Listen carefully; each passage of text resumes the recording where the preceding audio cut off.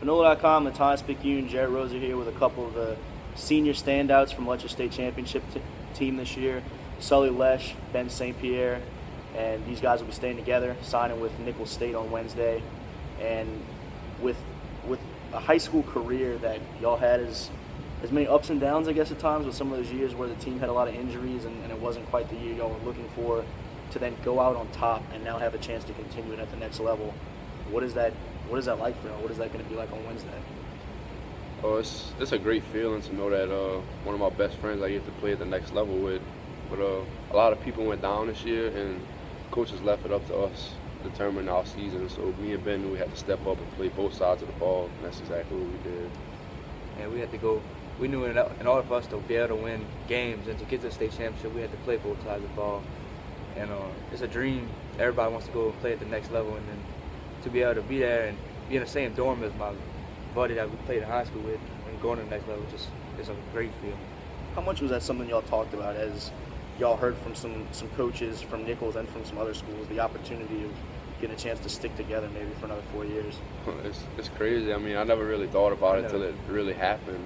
Yeah. Until Ben texted me that day saying, I'm going to Nicholls with you. Yeah, I It was a great feeling. I didn't think we would. I thought he was gonna go to a bigger school or something. And then we ended up both committing to Nicholls, and it's just crazy how it worked out.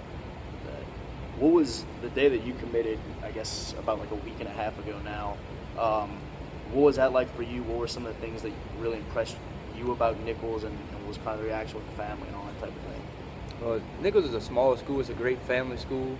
Um, I know Coach Rebowe is turning that program around. They started winning games towards the end of the year last year, and I'm excited to see what's in the future for Nicholls football. And then you call him, and he said he was kind of surprised, didn't really expect it. What was his? What was Sully's immediate reaction when He he didn't believe me at first when I told him. He was like, "Man, you lying." And then he was excited that we're gonna be able to spend four more years together playing football, doing what we love.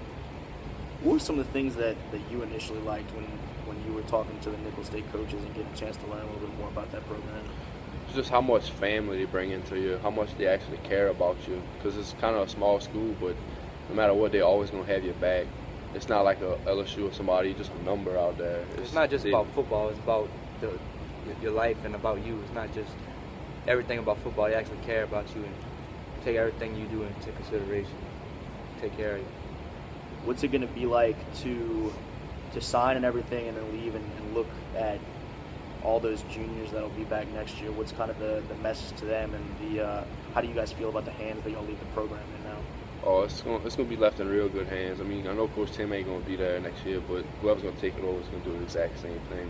And It's a tradition over here. They gonna, the guys that we have left on the offensive side of the ball, especially, they they know what it's been like for four years, and they they learn from us how to be leaders, and it's gonna be an exciting year for them. And you, I guess, Sully, you just made a pretty interesting point too, with that state championship game being Coach DeTillier's last game of such a long and, and storied career. What is that like for you guys to know that y'all won that state championship in his last game, and now y'all will be his, you guys and uh, Destin will be his last signing class? Well, it's an honor. I mean, to know he's been doing it for so long now, and he just decided that he wanted to come out with us. That really shows how much we put into the uh, program and really cared about us.